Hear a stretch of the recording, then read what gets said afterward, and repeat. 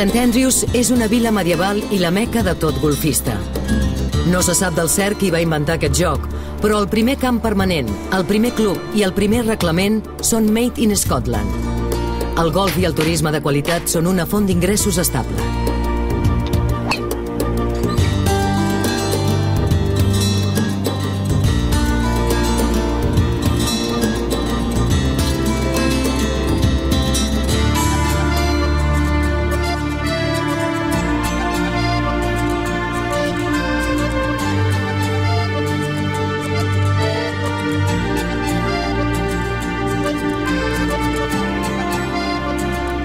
Els 15 milions de turistes que visiten Escòcia cada any han ajudat a revifar les zones rurals més precàries.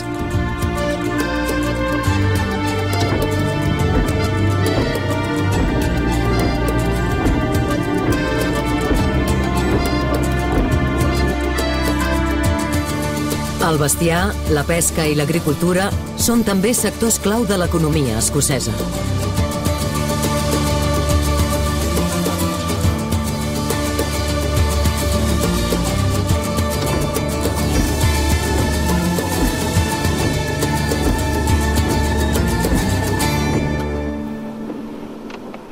I la indústria del whisky contribueix especialment a l'exportació.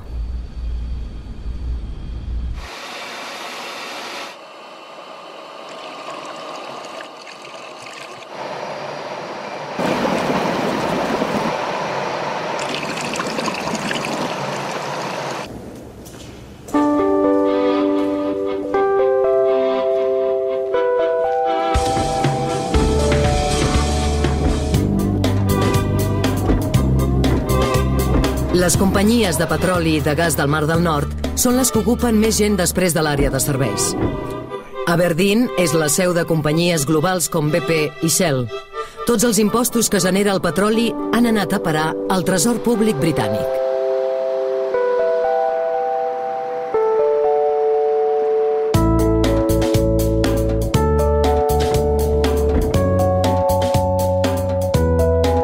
El govern d'Escòcia ja fa anys que fomenta la investigació bàsica i aplicada. Van inventar l'escàner i l'ovella d'oli és fruit de la recerca genètica. Però, a més, lideren a Europa les energies renovables, especialment la del mar. D'aquestes energies, d'aquests recursos energètics que poden dominar el subministrament energètic del segle que ve, Escòcia en té un quart, no del Regne Unit, sinó dels recursos d'Europa. Fa 10 anys que la indústria Pelamis Wave d'Edimburg investiga el poder de les ones i ha inventat una serp d'aigua que transforma la força de l'onatge en energia elèctrica.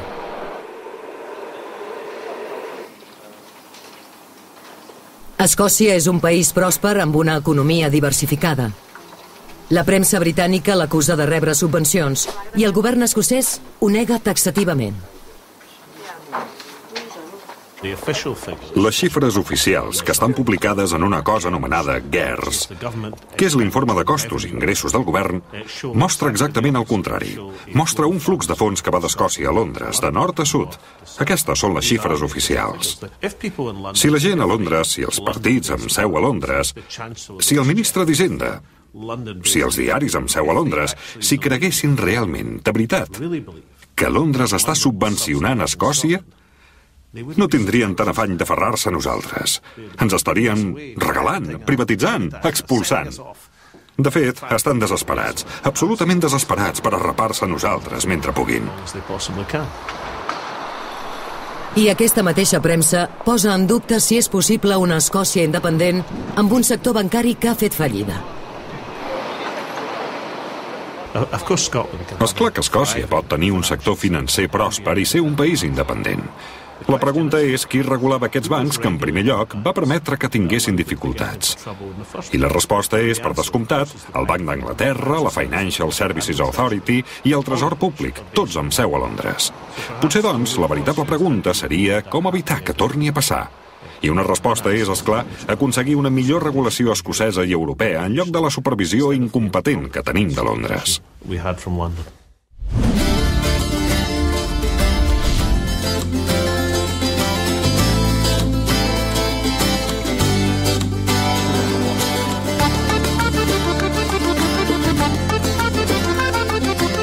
El Gran Montreal és, després de Toronto, l'àrea econòmica més important del Canadà. La ciutat té un milió i mig d'habitants, però l'àrea metropolitana duplica amb escreix aquesta quantitat. Al Quebec tenen una caixa pròpia, el poderós grup financer Desjardins. I Hidroquebec és una empresa propietat del govern. La factura de la llum és la més barata de tot Nord-Amèrica. Els quebequesos fan dues declaracions de renda, la federal i la provincial. Però mentre el govern federal té superàvit, les províncies no reben prou transferències per poder fer front a la despesa. Us donaré unes xifres. Entre els anys 70 i 99, durant aquest temps, les inversions en energies netes van ser de 329 milions. Hidroquebec, que és la força del Quebec, no va tenir ni un cèntim d'Ottawa. Llavors es veu la desproporció. Els nostres diners han servit per ajudar l'oest, particularment les províncies d'Alberta, Saskatchewan i Ontario amb la nuclear. Ni una sola ajuda al Quebec. Un dels principals clients de l'economia del Quebec són els Estats Units. I si hi ha un sector de present i futur al país, és la indústria aeroespacial. Bombardier va començar fabricant motoneus i ara lidera la fabricació de l'aviació civil. L'altra gran divisió de l'empresa es dedica a les locomotores, sistemes de control, metros i tramvies. Per Catalunya circulen trens d'alta velocitat, metros i ferrocarrils Bombardier. Tota aquesta indústria és possible perquè el Quebec és un dels líders mundials en la producció d'alumini.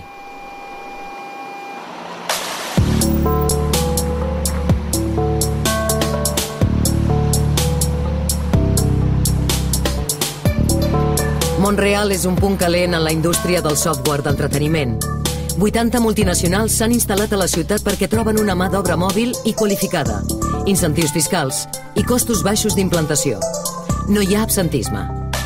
Una d'aquestes empreses, Ubisoft Montreal, és qui ha desenvolupat el videojoc de la pel·lícula Avatar de James Cameron.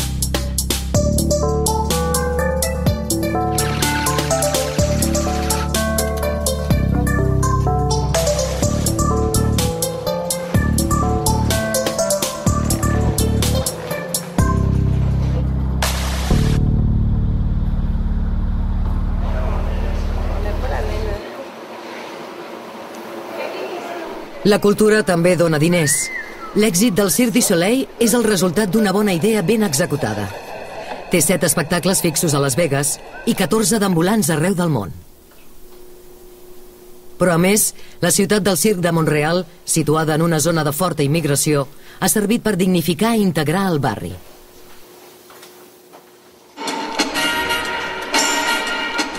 Entre el 2004 i el 2008, el Quebec, i especialment Montreal, ha rebut una forta immigració i s'integra. Tenim un acord amb el govern federal. El govern federal s'ocupa de la seguretat. Nosaltres ens ocupem de la selecció dels immigrants, perquè el Quebec en té el control.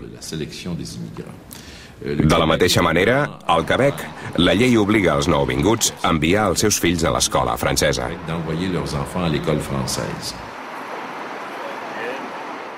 La política d'integració del Quebec ha fet que, proporcionalment, arribin més joves de llengua materna àrab, berber, xinesa, romanesa, criolla o espanyola a la universitat, que no pas els de parla francesa o anglesa. Perquè si bé l'escola primària i secundària és majoritàriament en francès, els estudis universitaris també són en anglès.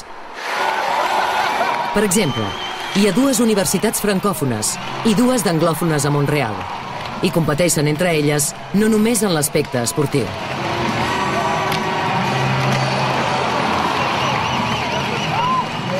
S'estrena en la Lliga Universitària un equip francòfon d'hoquei femení, Le Caravin, de blau, de la Universitat de Montreal. Les contrincants són les Stingers de la Universitat Concòrdia.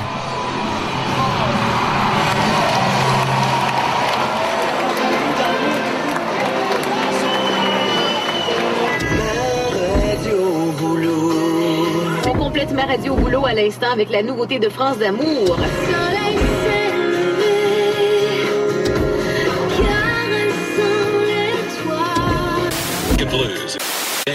Classic Hits, Cool 105. You can follow along with us on Twitter and on Facebook. Best way to do it is to access it through our website at WKOL.com. A 500 quilòmetres de Montreal hi ha un dòlar de peatge i hi ha el gran pol de coneixement, tecnologia i empresa. És Boston. El Gran Boston acull els campus de Harvard o Tufts, una de les millors universitats del món en economia, dret i diplomàcia.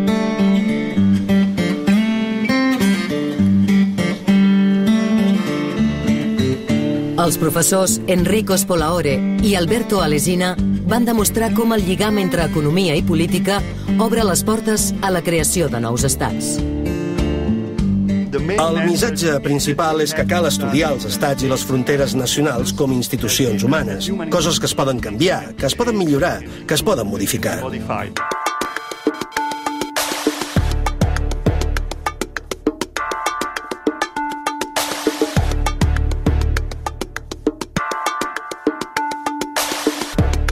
Si hi ha més integració econòmica, si hi ha més globalització, si es baixen les barreres al comerç, llavors el cost de formar països més petits, estats més petits, baixa. I ser un país petit esdevé molt més factible i econòmicament viable. I això es fonamenta en tres tendències. Democratització, globalització i pacificació. Si això continua i es reforça, llavors aquestes tres tendències, democratització, globalització i pau, pacificació i reducció de la guerra, ens portaran a veure encara més països dels que tenim, més països independents dels que hem vist fins ara. 2010 Corolla Luxury Edition for just 149 a month. Or a 2010 Camry Luxury Edition for just 179 a month.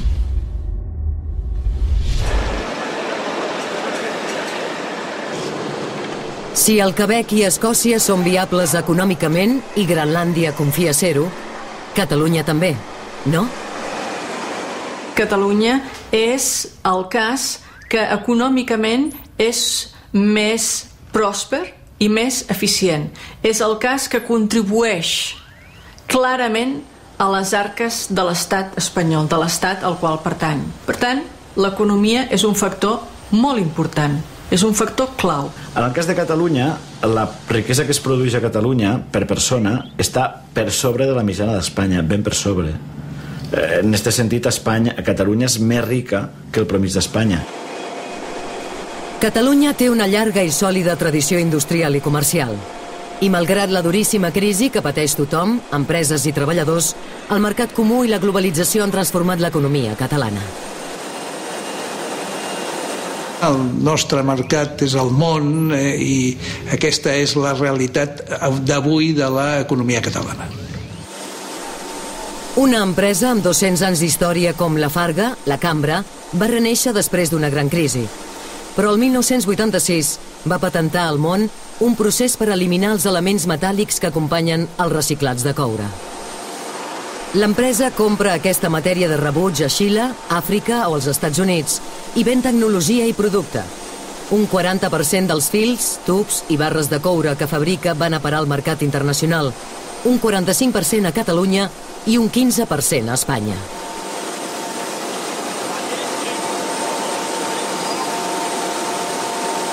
Sí, nosaltres eh, ens estem movent entre 800 i 900 milions d'euros de facturació.